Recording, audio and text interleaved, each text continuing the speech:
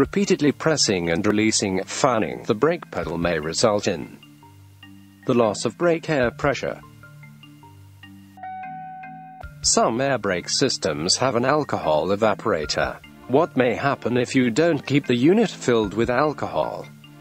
Ice may form in the air storage tanks and cause the brakes to fail.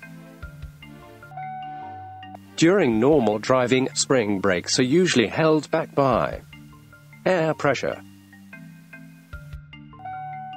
The most important thing to do when a low air pressure warning comes on is stop and safely park as soon as possible.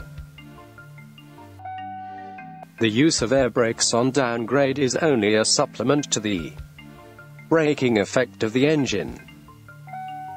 The most common type of foundation brake found on heavy vehicle is the S-cam drum. When is it okay to leave your truck unattended without applying the parking brake or chocking the wheels? Never.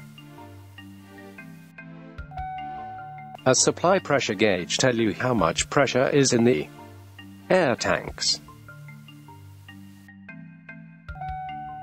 It is not safe to drive a vehicle that has brake drums or discs with cracks or that are thinner than the manufacturer's specifications. Generally this will be inch 1 quarter.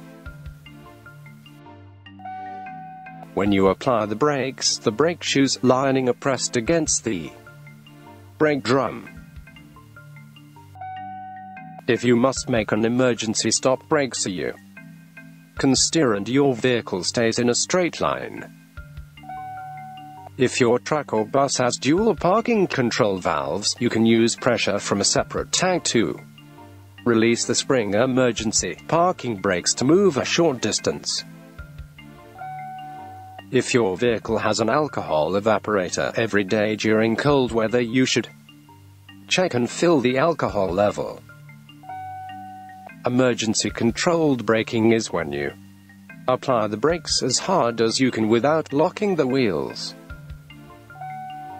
Your truck or bus has a dual air brake system. If a low air pressure warning comes on for only one system, what should you do? Stop and safely park. Continue only after the system is fixed. If the spring brakes are on, when should you push the brake pedal? Never.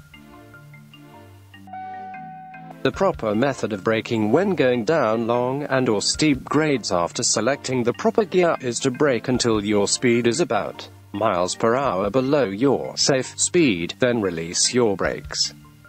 5. Your truck has properly functioning dual air brake system and minimum size air tanks. The air pressure should build from 85 to 100 psi within seconds.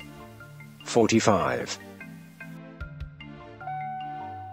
The air compressor governor controls when air is pumping into the air storage tanks.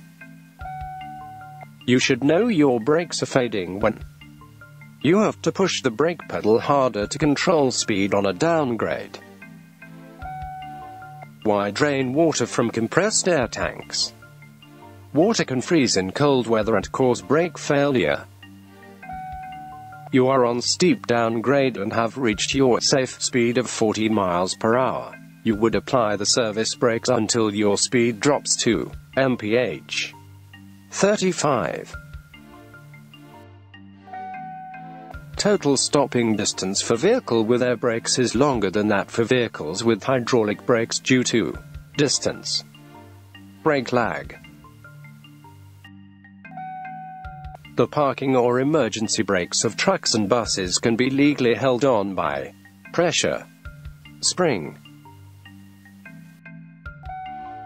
Air braking takes more time than hydraulic braking because air takes more time to flow through the lines than hydraulic fluid.